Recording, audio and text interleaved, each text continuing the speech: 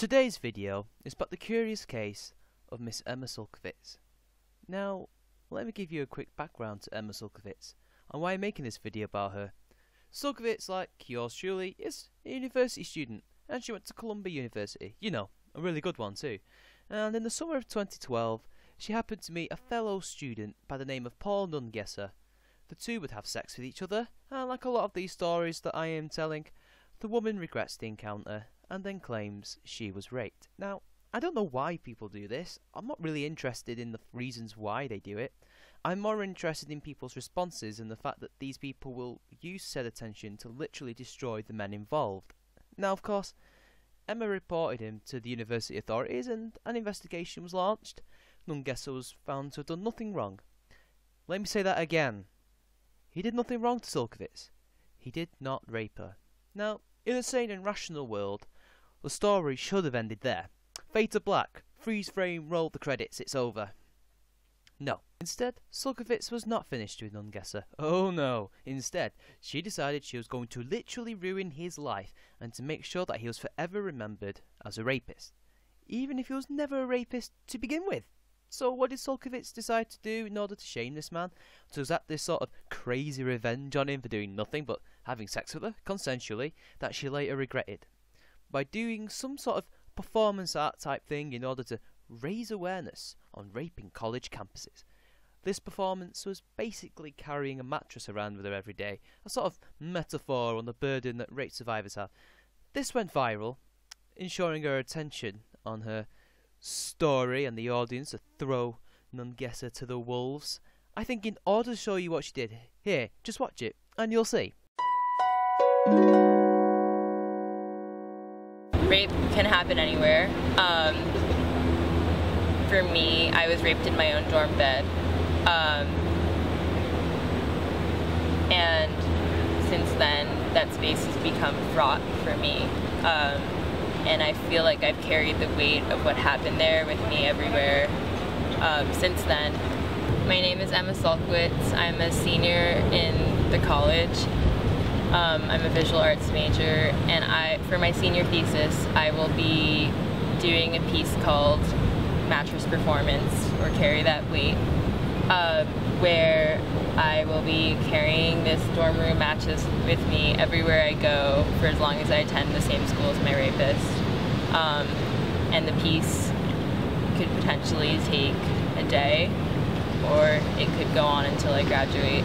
A mattress is the perfect size for me to just be able to carry it enough that I can continue with my day, but also heavy enough that I have to continually struggle with it. I think the other thing about beds is that they're we keep them in our bedroom, which is like our intimate space, our private space where we can retreat if we don't want to deal with anyone at that moment. But um, I think the past year or so of my life has been really marked by become like telling telling people what happened in that most intimate private space and bringing it out into the light.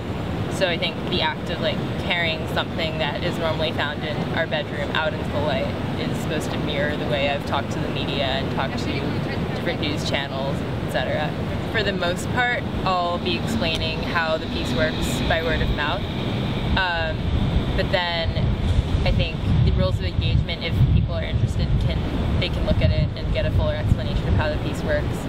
Um, I will be using my studio in Watson Hall for my senior thesis as a part of the piece, um, where I will be writing the rules of engagement on the wall. So there, people can. I'll be doing parts of the performance in that studio space, so people can come see those parts of the performance and also read the rules of engagement if they're interested. To me, it's an endurance performance art piece. Um, I do think that nowadays art pieces can include whatever the artist desires. Um, and in this performance art piece, it utilizes elements of protest um, because I think that is relevant to my life right now um, and definitely the way I've been thinking about and dealing with various issues. Honestly, I'm not as nervous about carrying a mattress around as I am with the attention that it's gotten. Like um, last night when I was shaking in bed and just thinking about how scary today was going to be, I was just mostly thinking about how um, I'm not really going to have anonymity anymore, which is a really strange thing to think about. One of the rules piece is that I'm not allowed to ask for help when carrying a mattress, but others are allowed to give me help if they come up and offer it. Um, so I'm hoping that not only do I get better at carrying the mattress, but that um, other people will learn about the piece and I don't know. I mean, I, I'm not hoping that everyone comes and helps, but um, I think I'm very interested in seeing where this piece goes and what sort of life it takes on.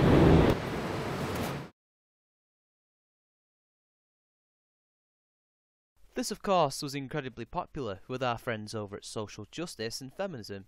She was raised on a pedestal and seen as a great sister and fighter for the cause. I mean, sure, the man was innocent, but that is just a minor detail that we can brush aside. Just because he was found to be innocent doesn't mean he was.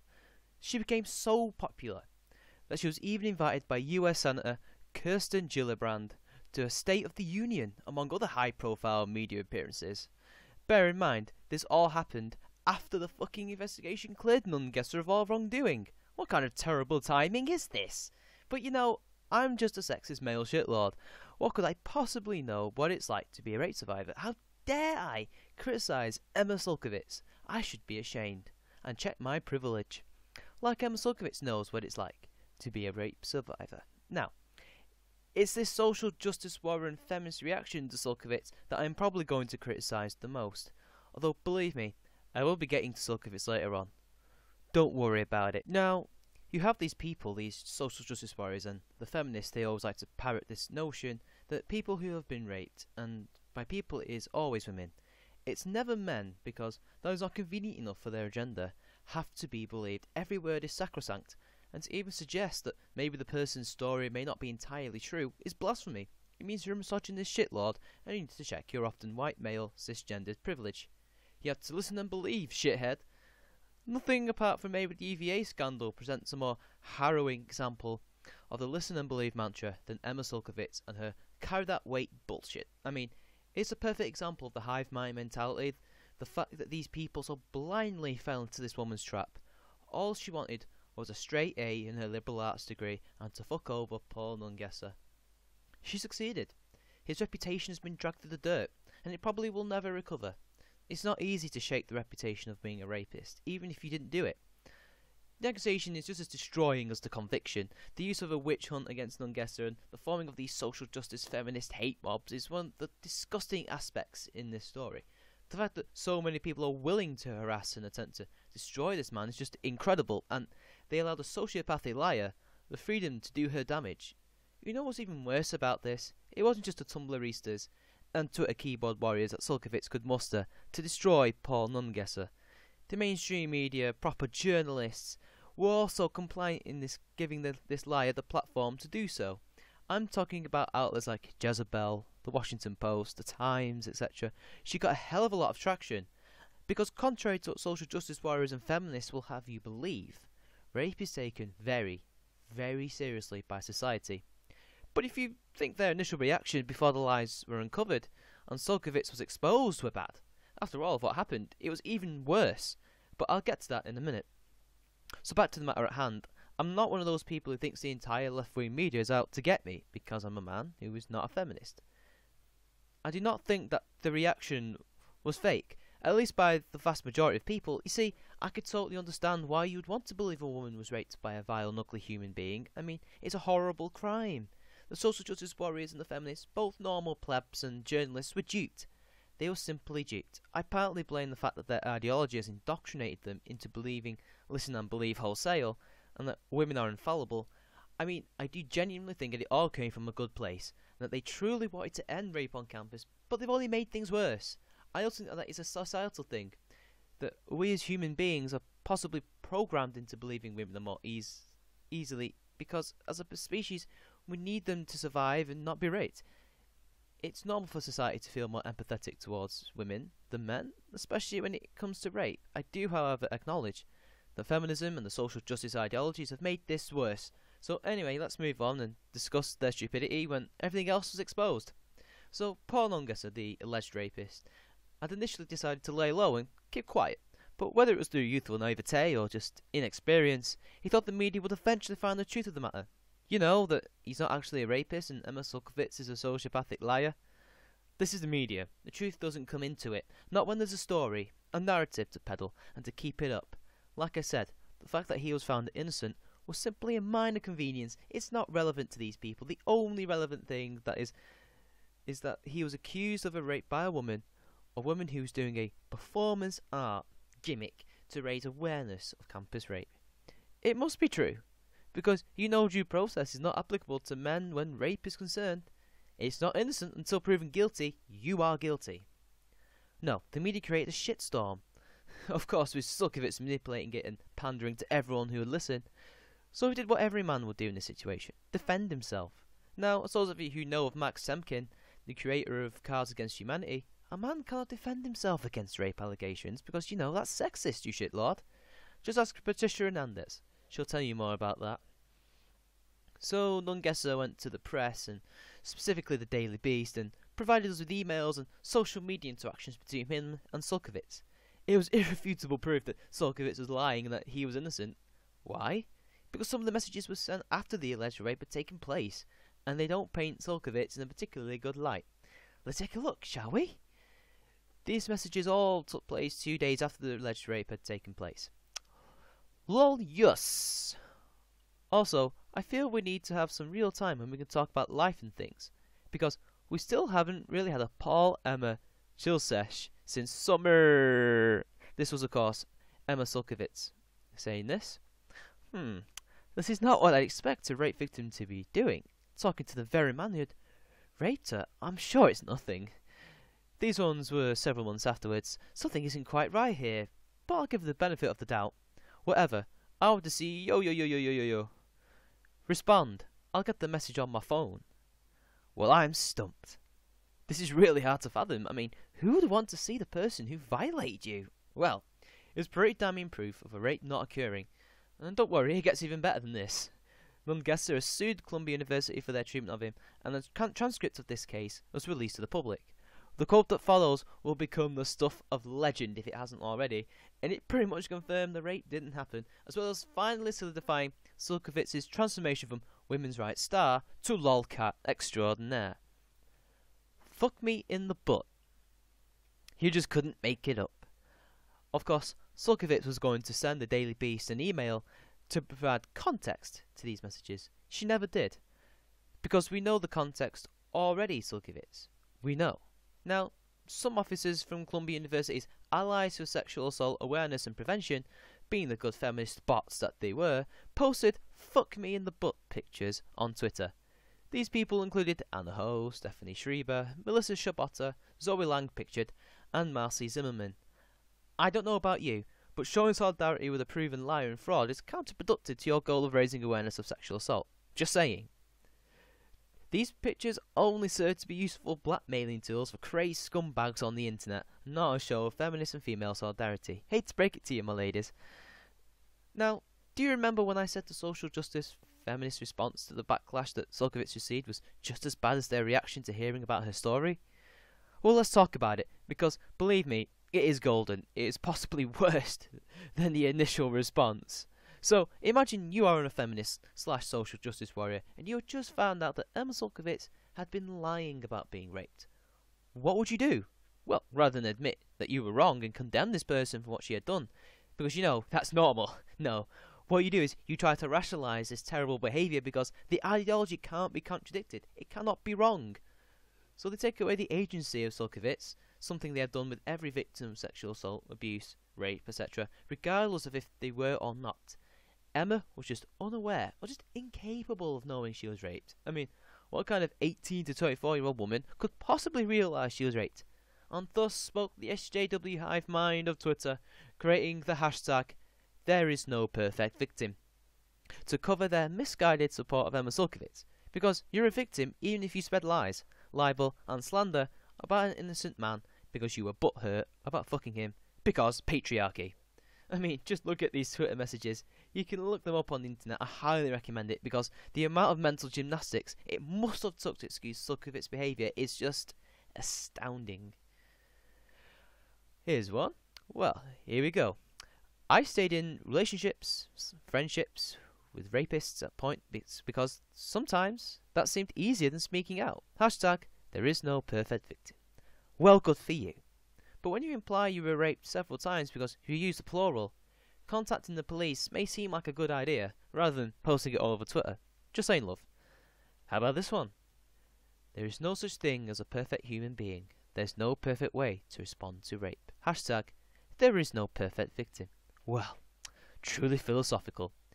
You really have it down intellectually, but I have a perfect way of responding to rape. Call the police. This is a goodie right here.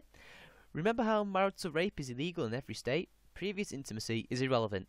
She posts some link to a website. Hashtag there is no perfect victim. Well, I don't know how a friends with benefits is suddenly marriage, but what I do know is that previous intimacy just invalidated the fact that she was coerced into sex. Now, you can't fault the absolute zeal this girl has for listen and believe. Truly inspiring. Whether you screamed or froze in shock, it was a stranger or your best friend. I believe you, and it's not your fault. Hashtag there is no perfect victim. You go, sister. And finally, this little gem. Right here by a white knight. Everyone copes differently. Prescribing how victims should behave is hindering the healing process. Hashtag there is no perfect victim. Well, well done, Sir Galahad, because removing them of agency and being condescending is not. I could give you loads more examples of this. Believe me, there are thousands. Just go and find them yourself. It's just amazing the level of stupidity that, that infests the social justice ranks. I mean, I struggled to get through the stupidity just to bring you these examples. I'm feeling triggered right now. But it's just a classic example of how feminists and social justice warriors treat women like shit. They aren't adults. They aren't people who can think for themselves and can understand the concepts that apparently they cannot do, because really, they are just frightened children screaming for help. So everything that a woman says is 100% true.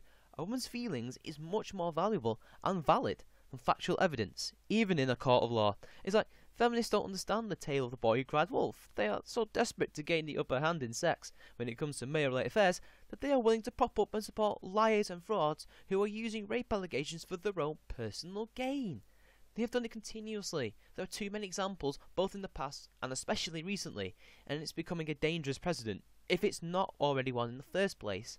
They think that any transgression that is inflicted upon them is comparable to physical violence men have to be accountable and have disproportionately punished because someone's feels happen to have been hurt.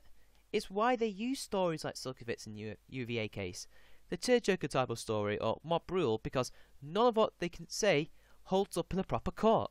And it sucks. It really sucks because now true rape victims will be branded as liars because no one will believe them. They will see them as Emma Sulkowicz clones.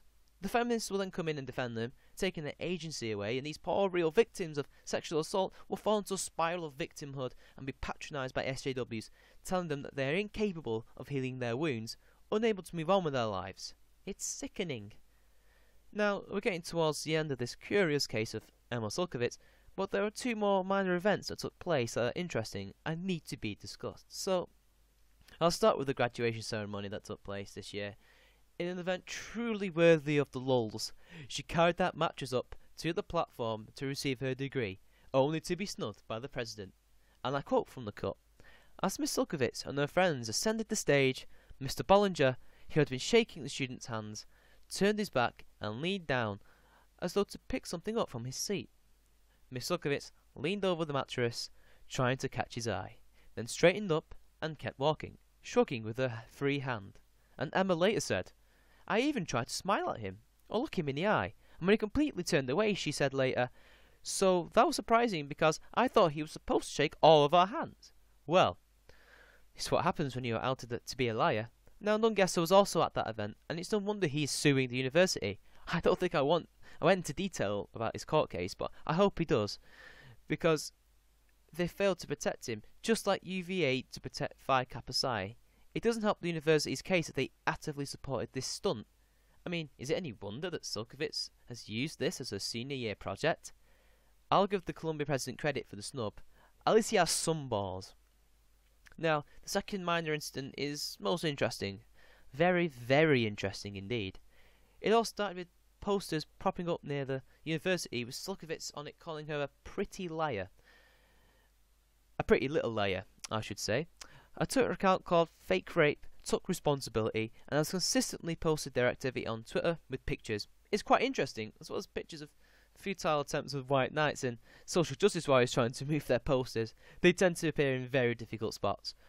But when asked why they did this, they responded in the best way possible, just like how Sulkowicz said in response to accusations she was lying and harassing people, as we know she did.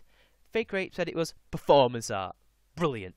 But regardless of what the Twitter account is or does, it represents a backlash against these extreme social justice warriors and feminist people.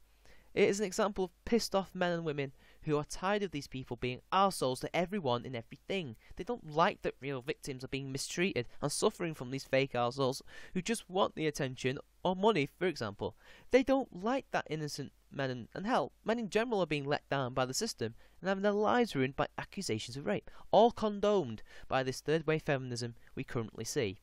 It's an interesting turn of events. So, that's the end of the video, and where do we go from here? Well, for Nungesser, he has to move on with his life, and I hope he wins the compensation he deserves. Job prospects are looking bleak for the lad, it seems, and this is what happens when you're accused of rape, either falsely or truthfully. For Sulkowicz, well, hopefully this will be the last we will hear from her, and consigned to the history books, I imagine. But what really worries me about this story is that it is basically saying to all the drama queens and batshit crazy bitches of the world that feminism will condone your lies. You can totally ruin a man's life easily because there's a mob willing to do the work for you, just waiting on the edge of their keyboards. Justice for people like Nungesser always comes too little, too late, because the damage is already done. It is too fast to stop. But when I see things like fake rape as lacking in subtlety as it does, I can't help but think that maybe we will see the light of the day in these dark, dark times. This has been Charming Man 93 Like and share the video, and subscribe to my channel. I will see you later.